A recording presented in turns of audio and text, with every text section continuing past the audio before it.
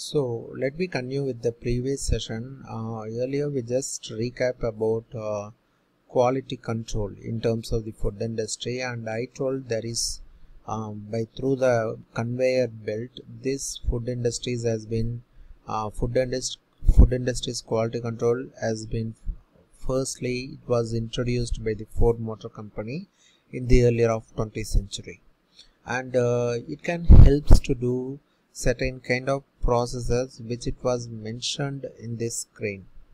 For example, generally manufactured is a broader term that can refers the entire process for creating a product from the initial design to the final assembly. So it encompasses all the activities which has been involved and also producing a product which can includes from research and development, design, production planning, sourcing of raw materials and uh, fabrication, assembly in manufacturing, testing, quality control and these are the major things which are which it was listed for uh, doing the manufacturing of the product in terms of the automobile and scale. At the same time an assembly line is a specific manufacturing process which has been used to mass the produce uh, mass producing the standardized product. So that is the purpose of launching this uh, assembly line. Okay so but at the same time how it has been utilized uh, the use of manufacturing assembly line can provide several benefits for a businesses uh, that is include increased productivity and uh, it can the improving the assembly lines which can allows for the efficient production of the goods at a faster rate than traditional manufacturing.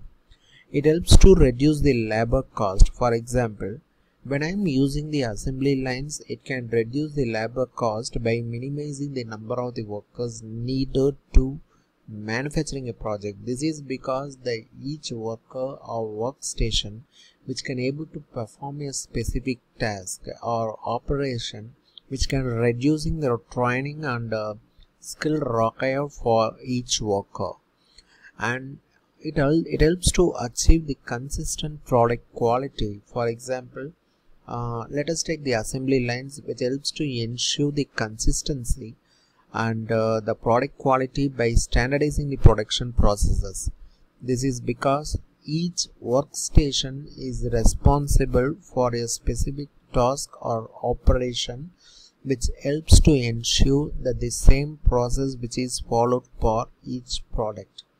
So that is why I told this consistent product quality had been achieved and the uniform kind of standards which has been achieved for the uh, products manufacturing. And also it helps to reducing the waste. For example uh, an assembly line can help to minimizing the waste by optimizing the production process and also reducing the number of errors or defects in the production process. This helps to reducing the time and resources needed to manufacturing a product. And also it helps to increasing the production volume okay let us take an assembly lines enable the businesses to producing the goods at a larger scale than traditional manufacturing methods. This is because assembly lines are designed to be highly efficient and it can able to producing the goods much faster. That is why the due to the linear arrangement in this workstation and the divisions of the labors among the workers which helps to streamline their production okay? And here some of the equipments which has been manufactured with the help of the manual assembly line.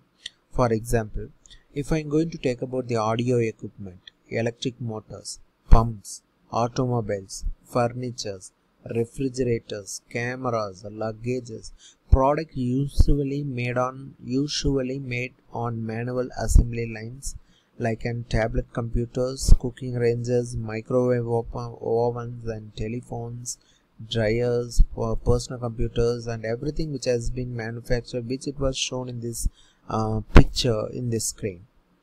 And here there are some uh, major applications which I'm going to categorize into five different category.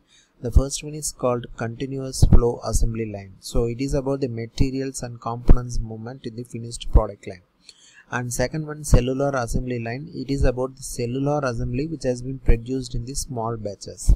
And third one it is about the balanced assembly line. It is a specific sequence of manufacturing which helps to ensure that there is a no workstation while others remain idle and fourth one is about the flexible assembly line. Um, this can be easily reconfigured to accommodate the product design or the demand changes and the fifth one it is about the automated assembly line which helps to automate the manufacturing processes and reducing the need of the human labor for increasing efficiency.